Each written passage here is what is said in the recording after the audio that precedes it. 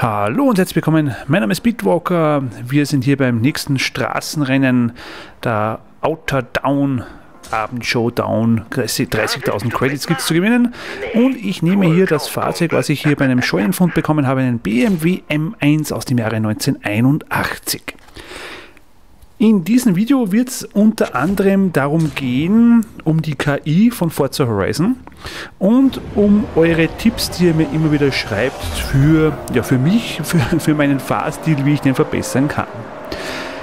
Aber hier mal den Starter mal, da lasse ich euch mal ein paar Minuten alleine, damit ihr das Race hier in dieser abendlichen Lichtstimmung genießen könnt.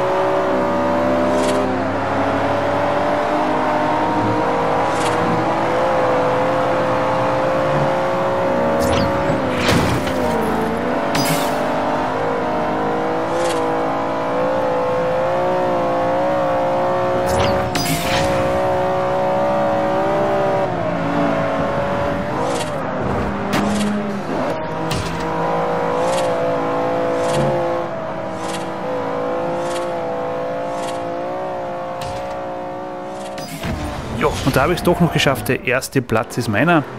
Äh, ein weiterer Punkt, den ich auch noch anreden will, ist ähm, die Geschwindigkeit. Mit dem fange ich gleich mal an. Äh, ich bekomme in den Kommentaren immer wieder zu hören, dass Forza irgendwie schneller sein soll. Naja, es ist so mal, Forza arbeitet mit 60 Frames pro Sekunde und hier Horizon nur mit 30. Trotzdem bin ich der Meinung, mir kommt vor, dass der Speed bei Forza Horizon besser rüberkommt. Und da meine ich einfach das Fahrfeeling, die Fahrgeschwindigkeit. Äh, ich erkläre es mir mal für mich zumindest mal so. Bei Forza 4 ist es so, man fährt auf einer Rennstrecke, das heißt, es ist nicht viel Umgebungszeug da, was herumsteht. Sprich, wie es hier bei Horizon ist, Bäume, äh, Zäune, Verkehrsschilder äh, ja, und andere Fahrzeuge, wie auch immer, die von der Geschwindigkeit her wesentlich langsamer sind. Und da habe ich schon den Eindruck, wenn man da jetzt so entlang fährt und das Zeug hier vorbei zischt und wenn man fahrt mal ganz dicht bei einem Verkehrsschild vorbei mit Fullspeed, das hört sich ja wirklich nett an, das haben sie recht kurz umgesetzt und ja, mir kommt schon vor, dass das einfach vom, vom realistischen Feeling besser rüberkommt. Es ist rein mein Eindruck. Ähm, natürlich sind 30 Frames nicht so flüssig wie, wie 60 Frames, ja, das ist klar. Trotzdem ja, also ich würde da auch jetzt keine Entscheidung treffen wollen und sagen, das und das. Mein Eindruck ist, wie gesagt, äh, mir taugt es besser, wenn da die, die Verkehrsschilder und Bäume und so weiter vorbeifetzen. Mir kommt es einfach von der, von der Realitätsgeschwindigkeit besser vor zu euren Tipps, die ich immer wieder bekomme. Ihr schreibt mir, ja, ich soll zum Beispiel, was ich letztens bekommen habe, vor einer Kurve bremsen und nicht in der Kurve. Ich soll äh, ein bisschen schwächer bremsen, damit das ABS nicht anschlägt. Äh, und dieses und jenes habe ich bei Forza 4 auch schon immer bekommen. Dafür mal ein herzliches Dankeschön. Ich finde es nett, wenn ihr versucht, hier meine, meine äh, erbärmlichen Fahrleistungen zu verbessern. Äh, ich spiele übrigens deshalb auch nur auf der mittleren Schwierigkeitsstufe. Äh, ja, mir ist es wurscht, ich brauche nicht auf schwer spielen, mir macht es einfach, hoppala, hm, peinlich, mir macht es einfach Spaß und, und da ist es in Ordnung. Also danke für eure Tipps, das ist ganz nett. Das Problem ist nur eines, wenn mich jetzt jemand fragen würde, der ganz frisch Forza hat, und dann Tipps von mir haben will, was, was man machen soll, wie man besser fahren könnte und so weiter, würde ich ihm das auch alles sagen. Würde auch sagen, ja, bremst vor der Kurve, lieber mal ein bisschen öfter bremsen, dafür ordentlich die Kurve durchfahren, äh, dieses und jenes und bla bla bla. Ja, ich habe nur ein großes Problem. Das ist die graue Theorie. Und die graue Theorie, die ist mir schon klar. Ich weiß schon, wie es gehen würde. Ich weiß schon, was ich machen müsste, um besser zu fahren. Ja, wenn ich dann aber da sitze mit dem Controller in der Hand und dann die Rivalen im Nacken habe oder so jetzt vor mir habe, äh, jo, dann fällt ein Schalter, klick und die ganzen das ganze Wissen ist weg und aber das heißt nur, ich will nach vorne, auf Biegen und Brechen, lasst mich durch. Und da bin ich einfach zu wenig cool wahrscheinlich noch, als, was, als dass ich mich hier ein bisschen zurücknehmen kann. Natürlich, es wird immer wieder besser, wenn ich eine Strecke öfters fahre, das kommt natürlich auch dazu, so ha, Huch, Überraschung, Kurve und diese Dinge. Also ich bitte um, um Verzeihung, wenn es nicht so rüberkommt, also dass ich, äh, als wenn ich eure Tipps nicht annehmen würde. Ja, ich weiß es und danke, aber es klappt halt einfach oft nicht. Also da müsst ihr, müsst ihr einfach mit meinen Fahrleistungen, mit meinen eher kläglichen Versuchen, hier Top-Spitzenzeiten zu produzieren, äh, leben. Nutzt nichts. Ja, und dann sind wir auch schon beim nächsten Thema, die KI. Die KI bei Forza Horizon. Es war ja so, bei Forza 4 ist mir besonders aufgefallen, dass die KI in den Kurven relativ schlecht war. Also das waren immer die Punkte, wo ich recht gut Plätze aufholen konnte. In den Kurven, in den Turns, da ging es immer recht gut. Überall anders, äh, oder äh, ist so da la, halt, sagen wir ja. Bei Horizon kommt mir vor, vielleicht ist es nur mein Eindruck, ich weiß es nicht und da bin ich gespannt, wie das bei euch ankommt. Äh, aber mir kommt vor, die KI wie soll ich das jetzt formulieren, dass es nicht blöd klingt? Also sie ist nicht schlecht. Also bei den Rennen kommt mir schon vor, auch auf mittlerer Stufe muss ich mich anstrengen, um nach vorne zu kommen, um mit dabei zu sein. Das ist ja auch in Ordnung. soll ich, ich, will, ich will eh nichts geschenkt haben. Ich will nicht, dass ich da von Haus aus immer, immer vorne bin und beim ersten Versuch gleich. Es gibt auch etliche Races, die ich immer wieder öfter starten muss, beziehungsweise drei, viermal beginne, weil ich einfach halt nicht hinkomme. Aber gerade dieses Race hier, der Windtunnel, hier übrigens mein, im Hintergrund mein BMW, den ich ein bisschen designt habe, unter Anführungszeichen, äh, auch erbärmliche Versuche. Aber gerade bei diesem Race, das war für mich das Ausschlaggebende, dieses Video zu machen. Da habe ich mir dann schon gedacht, verarscht mich hier ein bisschen Forza Horizon oder habe ich mich wirklich so verändert in dieser einen Strecke? Schauen wir uns das Ganze mal an. Also es geht hier darum, mit meiner Corvette gegen den Hubschrauber zu fliegen. Das kennen wir vom Mustang versus Mustang. Das war auch in der Demo ist dieses Race gegen dieses Flugzeug. Also es geht los, wir starten hier 4, 3, 2 und also na, bin zu langsam, geht eh schon los. Das Rennen geht los. Links seht ihr auf der Karte den grauen Punkt, das ist der Hubschrauber, der zieht jetzt gleich über mich drüber. So und hier haben wir den ersten Zwischen und die ersten äh, Spot 0,097 bin ich einmal hinten. Ja, also ist noch nichts, ist wurscht, ist in Ordnung. Aber man sieht noch, diese Strecke ist neu für mich, ich fahre recht unsicher, ist auch kein Thema, lasse ich mir alles eingehen, ja verstehe ich, ich würde auch verstehen, wenn ich jetzt äh, verliere. Jetzt bin ich schon 1,236 Sekunden hinten. Habe ich mir gedacht, ja, puh, okay, erstes Rennen, Strecken kennenlernen, ja, ist in Ordnung, äh, erwarte ich ja nicht mehr. 1,605 hinten, ist auch in Ordnung finde ja ganz stylisch, weil sich der Pilot hier alles traut, hier in den Canyon zu fliegen. Einfach so, rennenmäßig. Na, ja, ja, mei. So, jetzt bin ich hinten 1,544. Also mehr oder weniger erkennbar, okay, ich bin zu langsam, der Hubschrauber ist schneller wie ich. Hier auf der langen Geraden geht es ein bisschen besser. 0869, also ein bisschen aufgeholt wieder. Aber sobald, sobald Kurven kommen, ist es auch schon wieder vorbei. So, jetzt zack, nächster Punkt. So, da bin ich jetzt relativ nah, 0719. Da knall ich wieder ein bisschen gegen die Leitplanken. Oh, es kommen hier die Tunnel. Doch, die Strecke kenne ich doch, fällt mir gerade auf. Allerdings noch nicht auswendig, denn der nächste Tunnel, das weiß ich, das ist ja ein nerviger Tunnel, weil diese Linkskurve da im Dunkeln sehr blöd zum Sehen ist. Hier plötzlich auf einmal 2,239 Rückstand. Also wirklich gleich um Häuser, um Häuser mehr Rückstand zusammengebracht. Ja, ja hier diese blöde Kurve, da muss man aufpassen. So, nächste Zwischenzeit. 2326. Okay, ja geistig war die Sache gelaufen. Also KI fordert mich hier wohl ein bisschen mehr, muss ich nochmal neu starten und entsprechend schneller fahren. Drei Sekunden Rückstand, also da war es dann eigentlich geistig schon abgeschlossen. Der Hubschrauber fern weit weg. Das Einzige, was man sieht, ist den Staub, den er aufwirbelt mit seinen Rotorblättern, mit seinem Downwash. Alles nett hier. Hier dreht eine schöne Kurve. So, und dann geht es jetzt äh, Richtung Ziel. Und jetzt schaut mal, was passiert. Der Hubschrauber meilenweit weg und plötzlich, Achtung, plötzlich, ratz, ratz, ratz, ratz, baff, ins Ziel, erster Platz. Drei Sekunden Rückstand innerhalb von, was ist was, was war das jetzt, 800 Meter aufgeholt. 2.11.407 gegen 2.11.698.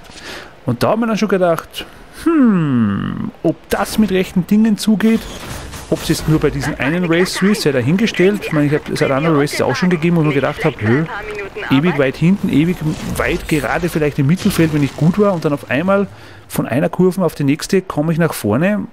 Ähm, ja, was habt ihr für einen Eindruck? Wie geht es euch hier mit Horizon so? Ich, meine, ich will, das jetzt nicht, äh, will mich jetzt nicht beschweren. Ja, es kann sein, vielleicht ist es nur mein Eindruck, vielleicht ist es wirklich so, dass ich während der Fahrt besser werde, dass es immer besser wird. Ich weiß es nicht.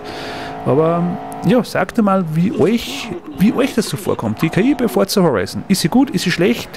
Ist sie hilft sie zu viel mit oder hilft sie gar nicht? Das ist wirklich nur Zufall. Vielleicht ist es wirklich nur, dass man sich während des Rennens auf die Strecke einstellt, auf das Fahrzeug einstellt. Ähm, ja, ich weiß es einfach nicht. So, hier noch übrigens ein paar Scheunenfunde. Da auch gleich eine Frage. Die Scheunenfunde werden ja immer wieder angekündigt, während man unterwegs ist. Dann kommt die Meldung, ein neuer Scheunenfund ist aufgetaucht, bla bla bla. Und das Gebiet wird auf der Karte markiert. Kann man diese Scheunenfunde auch finden, wenn die Markierung nicht da ist? Es kann sein, dass man sie wirklich per Zufall findet. Ich weiß es nicht. Ich habe es eigentlich noch nie probiert und auch noch nie so effektiv danach gesucht. Man hier jetzt eben im markierten Gebiet auf der Suche nach dem Fahrzeug. Aber kann man es eben auch finden, indem man einfach nur herumcruist und dann wirklich rein zufällig ohne Vorankündigung bei dieser Scheune vorbeikommt. Wäre interessant zu wissen von euch. Ich persönlich habe es noch nicht probiert oder mir eigentlich äh, noch nicht effektiv nach so einem zu einem Fahrzeug in der Scheune gesucht. Finde es aber übrigens sehr nett, dass das hier eingebaut wurde, weil es einfach lustig ist, mal äh, ja, so einen alten Schrottkahn, wenn man den dann sieht. Und ich werde sehen, ich bekomme hier jetzt wirklich zwei nette Fahrzeuge, also zwei Scheunenfunde habe ich hier im Video, glaube ich, drinnen. Und das sind wirklich Fahrzeuge, die auch noch für sich äh, wirklich Kohle kosten würden und ja, einfach nett sind. Schauen wir mal, was es hier gibt. So, hier mal eine Blitzerdings und ja, wo ist das Fahrzeug? Es ist die Frage. Die Scheunen zu finden ist ja teilweise nicht einfach. Teilweise auch wieder ganz leicht, weil einfach die Scheune wirklich so offensichtlich herumsteht. Auf was man einfach gut aufpassen muss, so, ich sehe, ihr seht hier eine Markierung, ich cruise, cruise hier herum, aber finde es nicht so richtig. Man muss, äh, was gut auffällig ist, ist, wenn in Leitplanken so äh, Freiräume sind und meistens geht dann ein Weg hinein, wie wir auch jetzt gleich hier sehen werden. Da links ist zum Beispiel eine Einfahrt, na gut, die Scheune ist wirklich offensichtlich, ich meine, die ist ja nicht sonderlich versteckt gewesen. Und da steht auch schon ein Fahrzeug drinnen. Oh, Sie sind hier über ein ganz besonderes Auto gestolpert. Es braucht nur etwas Pflege, die ich Ihnen glücklicherweise geben kann. Dieser Liebling der Mopa-Fans ist ein Hemi Kuda von 1971. Jawohl, da ist ein 426 Hemi unter der Haube mit 431 PS. Er ist eine nationale Institution. Ich habe mich Hals über Kopf in ihn verliebt. Man kann ja diese nicht sofort mitnehmen. Es dauert ein bisschen, bis sie in der Garage restauriert werden, aufge aufpoliert, geputzt, äh, Dellen ausgeklopft und was der Teufel, was noch alles. Hier übrigens der nächste Scheunenfund auch schon markiert. Ich habe gesehen, ich habe ja ein paar Markierungen mal offen stehen lassen und habe sie dann einfach mal zum Spaß gesucht. Und das ist auch, was mir sehr gut gefällt bei diesen Open-World-Geschichten.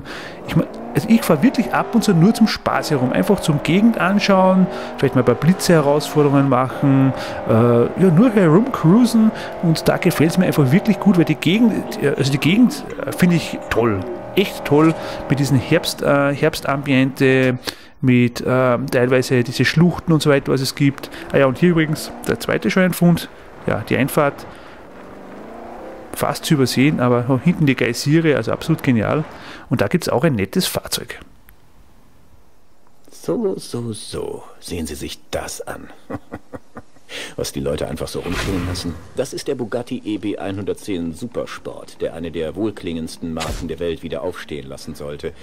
In den 90er Jahren handelte es sich dabei um eines der technisch fortschrittlichsten Autos.